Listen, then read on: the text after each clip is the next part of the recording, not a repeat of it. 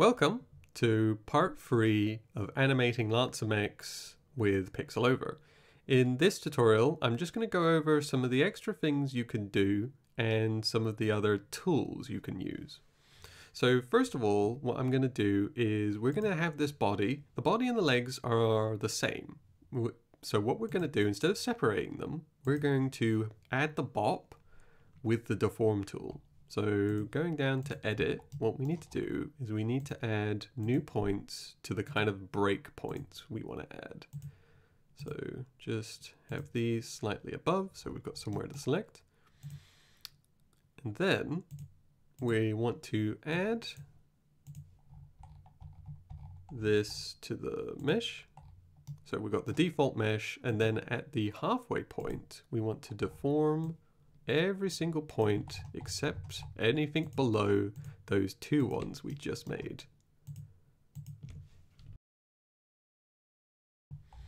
And now, when we play, the body will go up and down. Now, the reason it's looking sort of like it's like like it's a little it looks a bit too organic with this way, but that is because of the resampling method. So this is what happens when you have it on fast rotate sprite.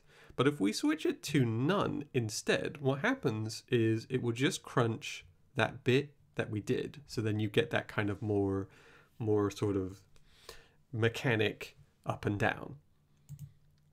And so now what we want to do is we want to play around with these arms, the different ways you can control the arms. So first thing we're going to do is for this arm, the sword arm, we're going to make it a child of the body. So whenever the body moves, the sword will the sword arm will go with it and we'll make the actual sword hand a child of the arm. So when that moves, it moves with it, like so. So then what we could do in this instance is we could just add a bone from here onto the body and then attach the arm to it. And then this way, we have a very simple, uh, the arm will follow the bone. And there's, you know, there's a good way of getting very a very simple movement going, especially if you've only got the one bone. And then we can add that zero position. Uh, we can have the arm again follow the body down. And then for a little bit of fun, we can just have it do a little like dip. Just as a just as a basic animation. So for this other arm, uh, we could do the same when we will make it a child of the body. But in this case, I'm going to show you a little more extra detail about how to use the deform tool with it. So we give it a deform body, and then we're going to go in and we're going to edit a bunch. And we're going to go so every segment we're going to cut off with these points instead of cutting them up. So all of the points that we want to be able to twist and turn, we need to separate them.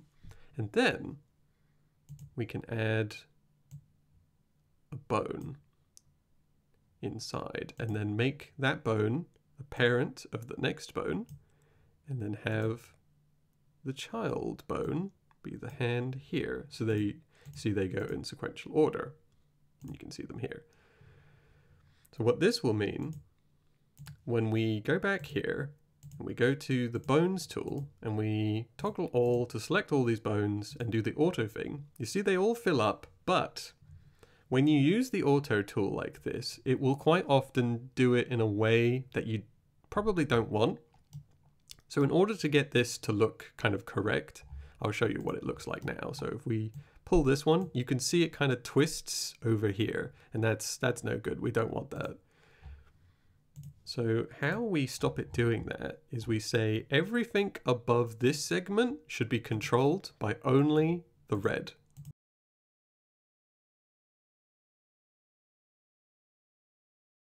And then only the segments in between the bones should be like partial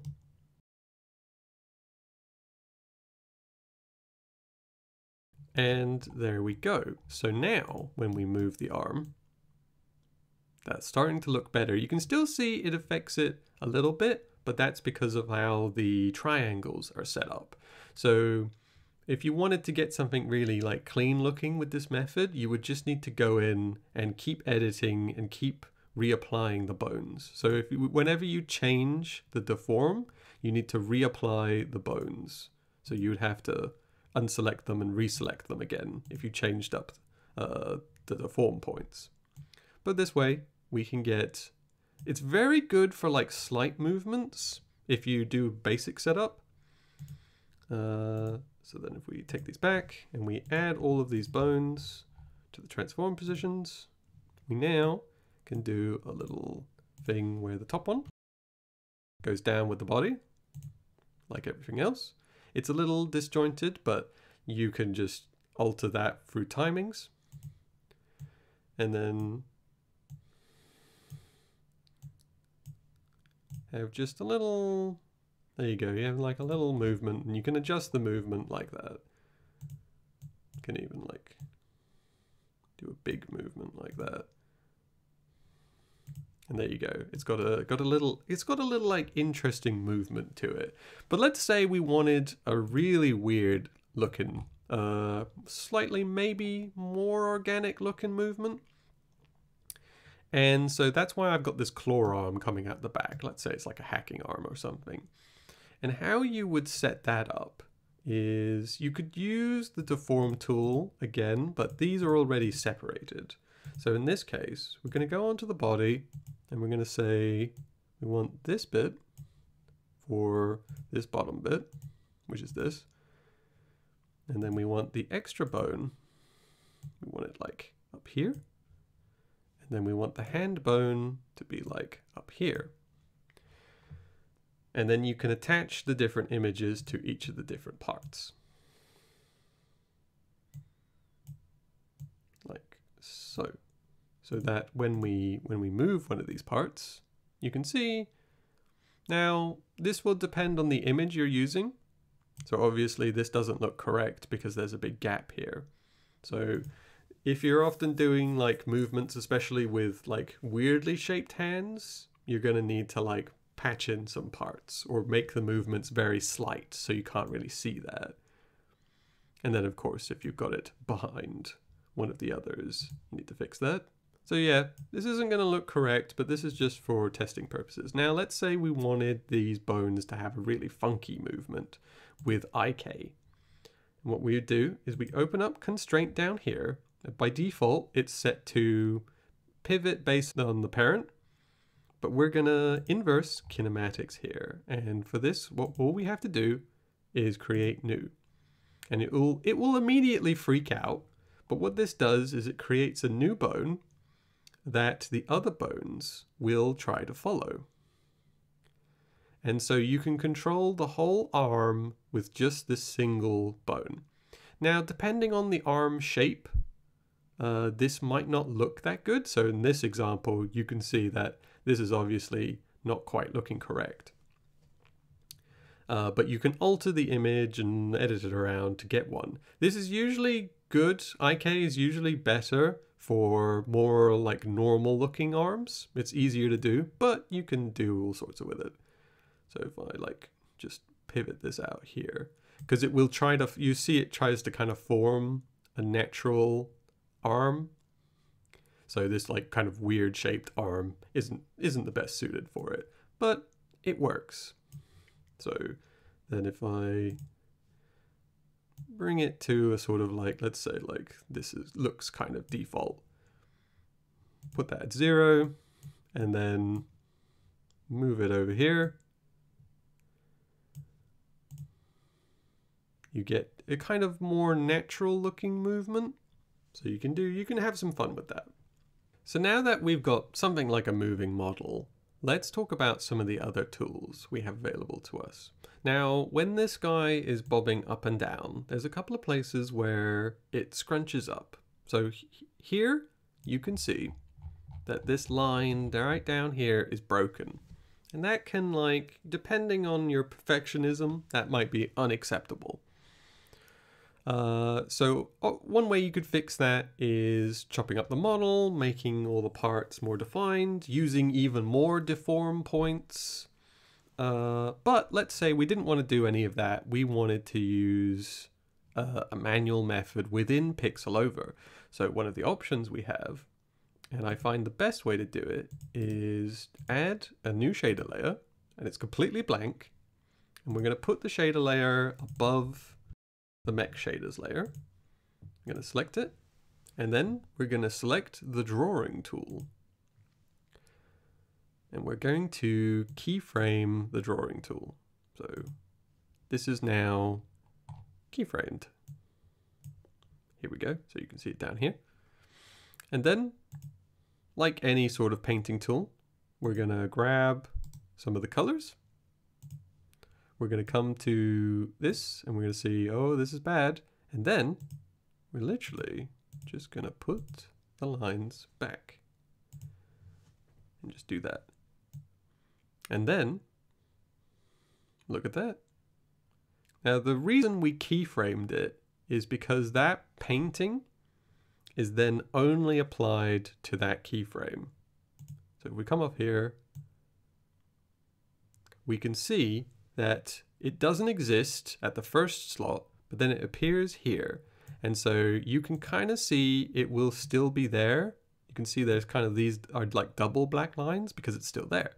So obviously what you can do is you can copy the first frame and just duplicate it past it and then just like magic it's gone. And that is the very basics of the drawing tool. I would caution to only use the drawing tool in small amounts because there is some like display issues. Like if you use the cropping tool, like it looks invisible, but it has actually selected stuff. Um, so I would typically use the drawing tool to do like very small edits during an animation rather than anywhere else.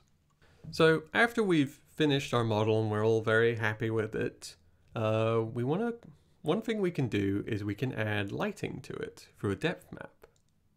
And how we do that is you want to export it as a GIF first, and then open up a new project, but on layer instead of 2D, have it 3D. When coming into the 3D, it comes with some default uh, setup. We want to change those. On 3D transform, we want all of these to be zero. On ambient, we want this to be white. And for directional light, we want that to be off. And then you go to the shader layer and you right click and you add a 3D object animated image.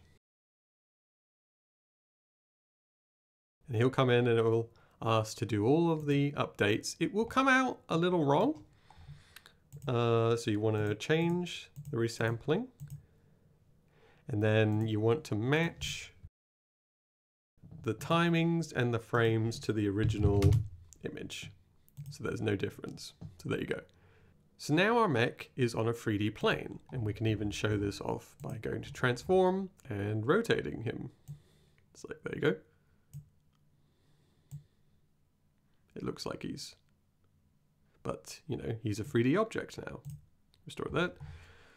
And then to add the lighting, all we have to do is we have to go to an animated normal image, generate from animated image. And what this will do is it will generate a normal map of, of each frame.